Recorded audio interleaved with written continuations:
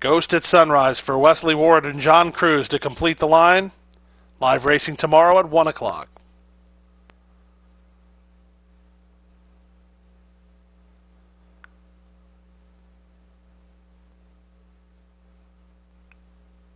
They're at the post. And runners away. Toward the inside, and Fitreon is away alertly and right to the early lead, but Centaur is Drimmer to move to challenge, and Drimmer and Christian Dominguez intent on the lead. They have it in the run to the first turn.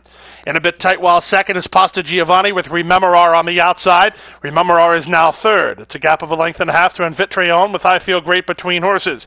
Mitos and Leyendas was a bit hard to handle and shuffled back there. Down to the inside, it's more Zen ready with Ghost at Sunrise on the outside. Vincent Chase is second last moving up wide, and widest of all, Gunther Brothers is last as they run down the backstretch. It's Drimmer on top here by a clear margin, three or four lengths. Racing second is Pasta Giovanni, the same margin. Toward the inside and now racing in third as I feel great, trying to get around Rememorar. Vincent chases the gray. He's now fifth, but he's about six behind. Toward the rail, that's Fitotron. Toward the outside, Gunther Brothers. Sandwiched between horses, more Zen ready. Then Mitos Eliendas, and trailing the field is Ghost at Sunrise.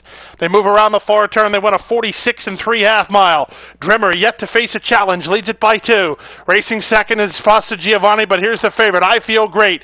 He's now into second, and he's soon to be in front. They run to the top of the stretch. I feel great. Just ran up to take the lead.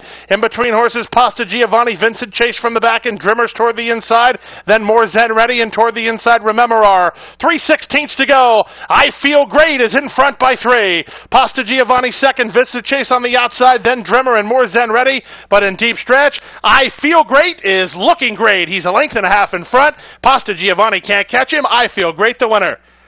Pasta Giovanni second, third Vincent Chase. It's close for the minors.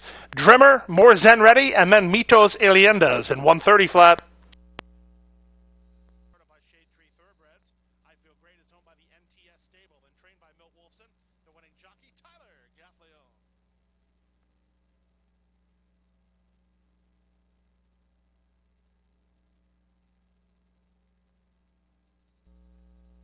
late double three three sixty two twenty. The late pick three seven three three ninety four eighty. The pick four ninety six dollars and seventy cents.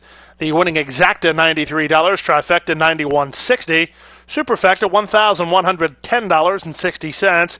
That's one eleven oh six for a dime.